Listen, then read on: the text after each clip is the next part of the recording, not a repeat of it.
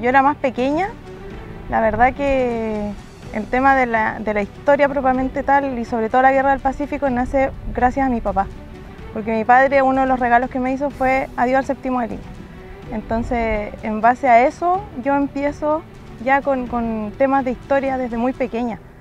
Y cuando llegué acá a la ciudad de Antofagasta, bueno, después de un largo tiempo buscando cómo poder incorporarme a algo que me hiciera sentir parte de la historia, eh, tuve el, el, gusto de conocer a Marisol y a la, a la agrupación y ahí me, me acogieron como cantinera de, de la agrupación.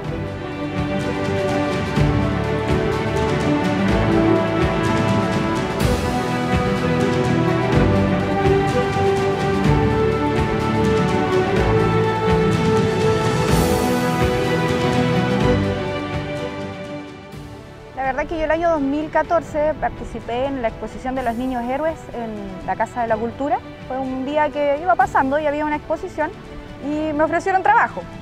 Ahí conocí a un amigo que es Raúl Elizalde, que es un, comandante retirado de, del ejército, y después que me dio toda la charla, todo lo que me habló de la exposición, me ofreció trabajo. Y a las finales eh, me encanté, terminé trabajando acá, después fui a Copiapó por un mes. Eh, desde entonces me empezó a dar vuelta esto de, de, de, hacer una exposición.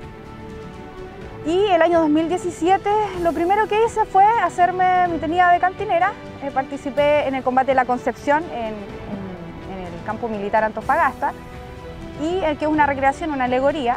Y luego de eso participé cantando aquí en la Ruina Huanchaca con el ejército en la, en la gala del ejército que se hace el 18 de septiembre.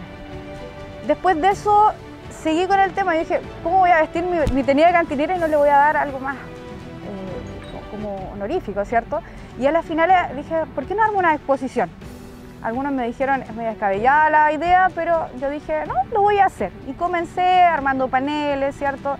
Eh, yendo a Santiago buscando antigüedades, porque parte de las cosas que tenemos nosotros son muy antiguas, hay cosas de 1800. Y ahí fue cuando este 14 de febrero del 2018 comenzamos la exposición y que, tenemos que haber recibido más de 500 personas en el muelle histórico y de verdad estaban todos fascinados y desde entonces, como te digo, continuamos con esta idea de, de continuar.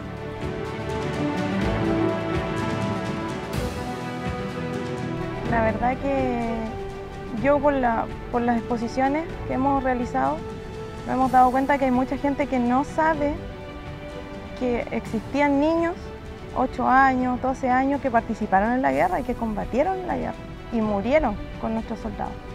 Y así también las mujeres. Yo creo que la cantidad de gente que conoce a las mujeres es por la sargento Candelaria, que es la más conocida. Pero no ven que hay otras mujeres que por detrás también lucharon como soldados. Y la verdad que mm, lo asocian también mucho con el tema del, del séptimo de línea, con la Leonora La Torre. Siempre nos han preguntado por ella, siendo que ella es un personaje que en sí no existe. Pero sí eh, lo hicieron como para, yo creo que más que todo para, para mostrar el rol de la mujer como, como todo lo que hacían. Pero yo con cada exposición, con cada vez que hacemos la alegoría, la batalla de la Concepción, uno como que se llena más con, con el espíritu de la patria. Entonces para mí es, es, un sentimiento que me siento orgullosa de poder representar a la mujer cantinera de esa época. Para mí es un orgullo.